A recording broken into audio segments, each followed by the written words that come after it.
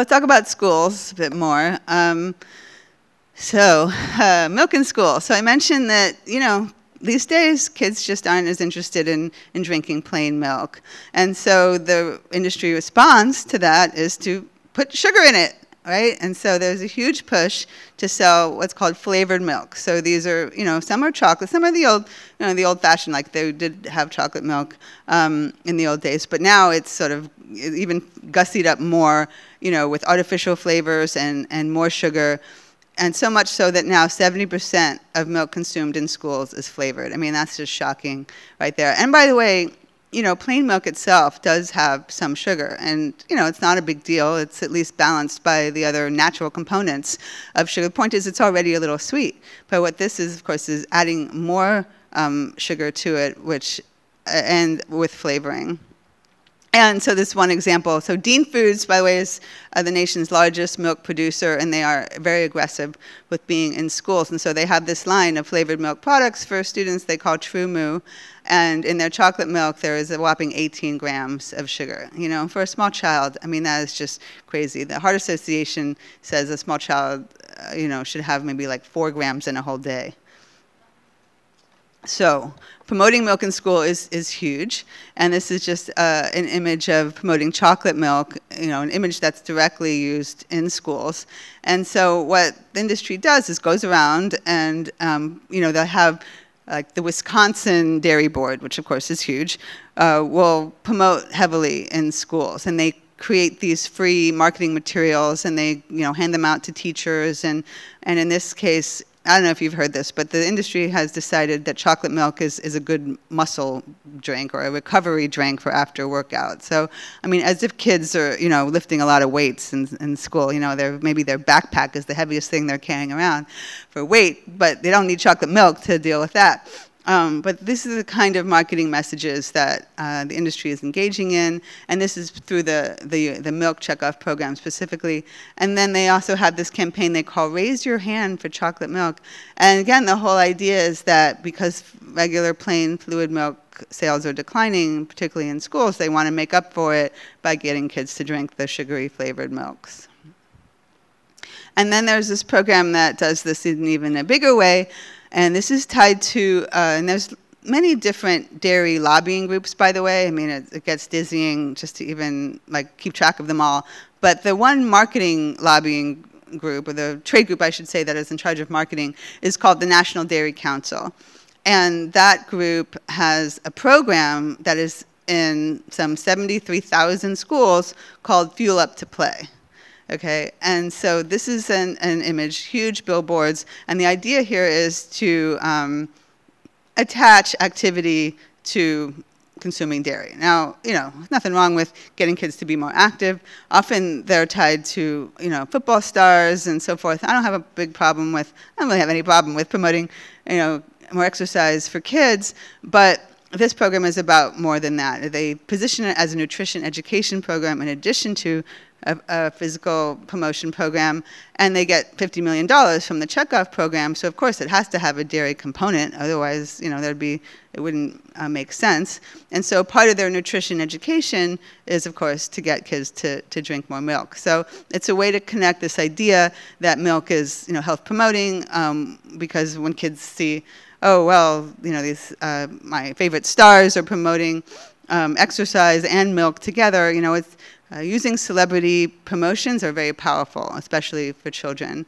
And this, this program is ubiquitous, and I've talked to parents who say they've seen these types of images all over their schools.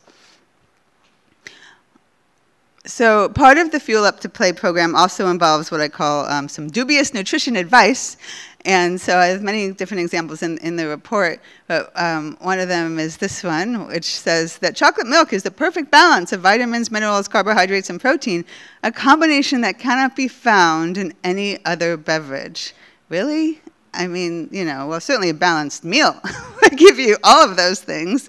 There's no need to drink chocolate milk to get those things. And then again, um, seeing the imagery that, that they use to promote the program, chocolate milk is, is front and center. Never mind all the sugar that comes along with it. And um, in the report, I uh, interviewed this my favorite registered dietitian, Andy Bellatti, who just really pokes holes in all of the nutrition messages of this program and, and others. And so he says that Fuel Up to Play, called Fuel Up to Play 60, is a marketing campaign hiding behind a veneer of nutrition science. And this is just a really good way of putting it. And this is also a very uh, common industry tactic to make it look like they're all about science, you know, um, when it's really simply marketing.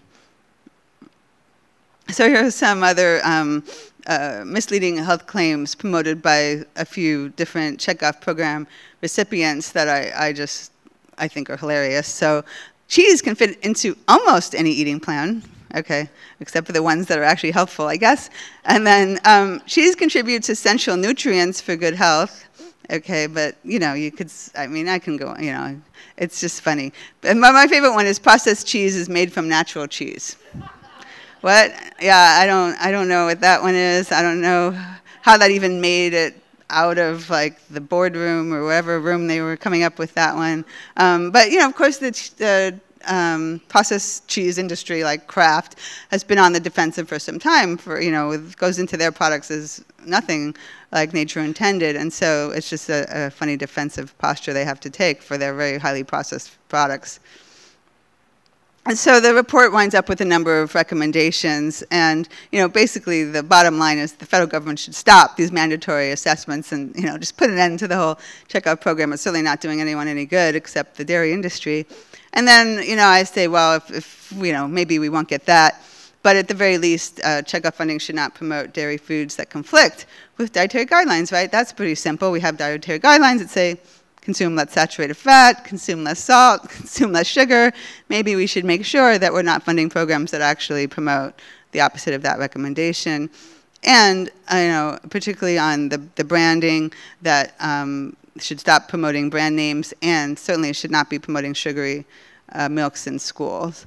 And then uh, there's this great uh, sort of nutrition slash economics professor at Tufts who actually even you know, suggested that I dig into the the dairy checkoff program. And so he has a great quote in the report I like, which is the meat and dairy industries can do what they like with their own money.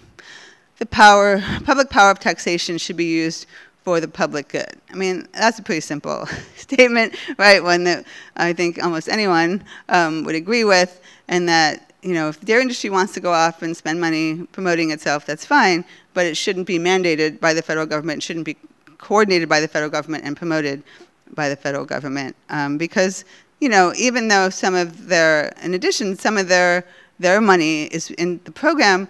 What I always like to point out too is that the federal government, the government officials who um, help coordinate this, I mean, their time is, at least in part, being paid for by our tax dollars. So any way you slice it, it's a government program, our tax dollars are involved. And then um, since I put out this report, actually a colleague of mine named Alissa Hamilton has just published this fantastic book called Got Milked, The Great Dairy Deception. And um, I just want to give a shout out to it because it's it's I think it just came out in February, and you know there aren't a lot of books out there that I just wholeheartedly recommend. And she's just really did her research and showing um, why milk is not essential and is even potentially harmful. And she's based up in Canada, and I, she's been sending me some media clips of her where she's, you know, it's just a really hard thing to do. In other words, to go on, you know, TV and debate with someone from the dairy industry whether dairy is good for you, you know, and she's been willing to do this. And it's funny, like I said before, like, I wasn't even willing to do that for this report. I didn't want to get into like, is dairy good for you? Is, is it? I kind of took this different path of showing how people are consuming dairy in all the wrong ways. And I just admire that she was willing to like go for the heart of the issue. And there are other groups, of course, that have done this. Um, Physicians Committee for Responsible Medicine is an organization based in Washington here that, um, I mean, in this country, that has put out wonderful resources for years about why dairy is not good for you. And I would recommend their resources as well. So, and then of course I have to end with the plug for my own book. But um, so, you know, there has been some attention, you know, to this issue, and I would say that the good news about dairy is, like I said before, I feel like there is a tide that's changing, whereas for for decades, really, it was just accepted nutrition dogma that dairy is good for you and people need to get their dairy every day. And um, I feel like that ground has shifted, and we have mainstream nutrition professionals like Walter Willett from Harvard and my mentor Marion Nestle basically saying, uh-uh, you know, dairy is not essential. If you want to consume some dairy, it may, you know, it's not going to kill you, of course, but the point is that it's no longer really assumed to be an essential part of the diet, at least by, you know, the independent nutrition professionals. Federal government, of course, still a different story. But I do feel like what I've noticed, you know, among my colleagues who certainly aren't um, vegetarian or, or vegan, but they have come around to accepting this idea and are certainly concerned about the pizza and the you know highly sugared beverages. So I feel like there's there's some hope there.